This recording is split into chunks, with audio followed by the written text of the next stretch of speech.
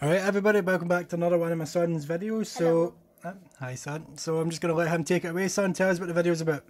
Dino Poop Mini Kit.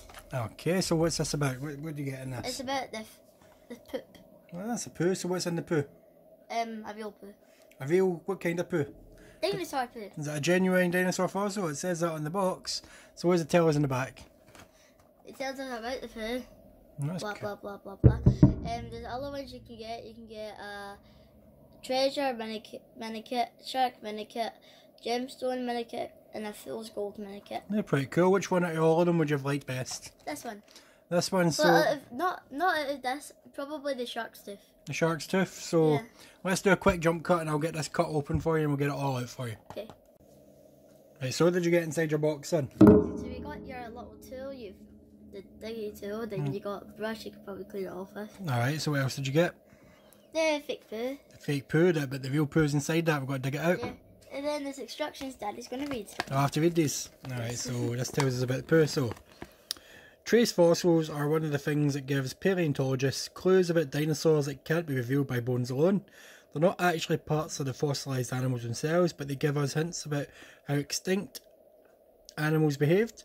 Perhaps the most important of these fossilised animal poop, known as coprolite, I hope I pronounced that right, from the Greek word for dung and stone, not only can coprolites tell us of what animal ate for breakfast, they might tell us what animals and plants shared the environment at a particular time. Unfortunately, it's nearly impossible to identify exactly which animal produced a specific coprolite. Even coprolites found near fossilized skeleton may not be produced by that same animal. So we don't know what kind of dinosaur this is poo's from, but it's definitely dinosaur poo, so we've got instructions, we know what we're doing.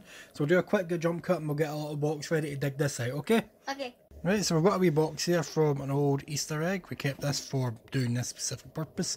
So when you go, son, you can start digging away. We might, we'll probably do lots of jump cuts because when I did my dinosaur dig and my diamond dig, it took forever.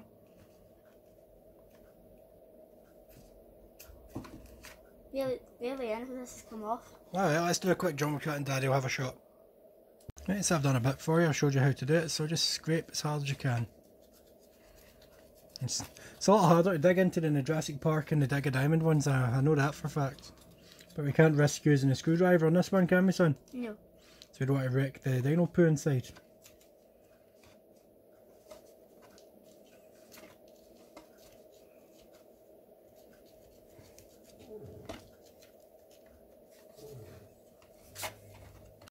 Daddy, if I can see the poo. Alright, let's see. Bring it up to the camera. Let's see. So that could be a bit of the poo there, so let's get digging. Give it a wee brush, let's see if we can see it. That's not making much of a difference. We'll get scraping in a second.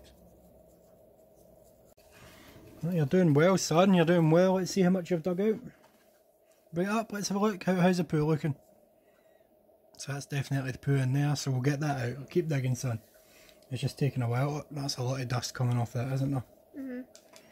It's a lot of dust. I'm doing another jump cut. Right, son, we've been digging for about 20 minutes now. How much progress have you made, shows? Let's see. Well, you've done quite well getting that poo almost exposed. I don't think it's as big as it was in the picture, do you? Yeah. Right, so do, should we do another jump cut and let you dig away? Yeah. Alright, back, back soon, folks. Right, we've been digging for half an hour, Daniel. How much progress have we made so far? Alright, so what bit's the poo? That bit? This bit. Alright, so I'll try to get that out. So we've whittled it down, we're just trying to get it out without damaging it. Mhm. Alright, so we should do a jump cut and hopefully the next time we come back, uh, the pool will be out. Yes. Okay. Right, son, I think we've got the poo out. Show people what we've got, right. It's just like a wee white thing right now. Uh, still got bits of clear nut on it, but the instructions did advise that we give it a clean. So that is why I've brought a glass of water, my Ghostbusters glass. So we're doing a jump cut and we'll show you the finished product. Pop it in. Back soon. Right, so that's the poo been cleaned. Uh, we've dried it out and we've cleaned it as best as we can. So show us, son, tell us what we think about it. So it's just like a brown rock thingy. Kind of looks like a fake poo again, but it's not supposed to be. It's hard. So it's a real fossil, this. Yeah. Are you going to keep this? Yes. How many people do you know that's got a real dinosaur poo? Um. Maybe. I don't know. My one of my friends at school said he was gonna get one, but I don't know if he's got one yet. That's quite cool. So, yeah, so the little white bits that you can see is a bits of clay that we weren't able to clean out. But yeah, we've got a little bit of dinosaur poo. So we're going to keep this, son. Um, next to my dinosaur skeleton. That sounds like a good place. So, what did you think of this dino poop kit? I thought it was really good. Really good. Was it worth the money? Was it a good present? Yeah. You get anything you want to say before we go? Um. Bye. Okay. Well, once again, people, thanks for watching the video. Like the video if you liked it. Share with your pals if they think they might be interested. Subscribe if you've not already subscribed. And always, Always what? don't forget to Uh, Gidgeon. have a good one. Bye.